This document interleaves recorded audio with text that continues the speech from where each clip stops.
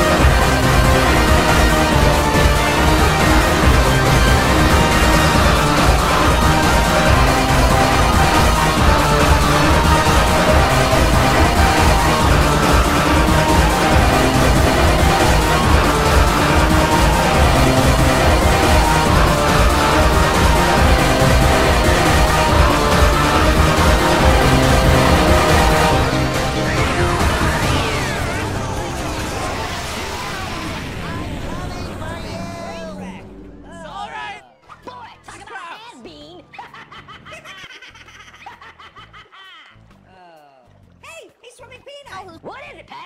Catfish!